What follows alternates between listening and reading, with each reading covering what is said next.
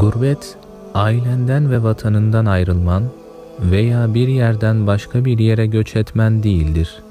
Gurbet, Kur'an ve sünnetle amel etmen ve bu konuda sana yardım edecek birini de bulamamandır.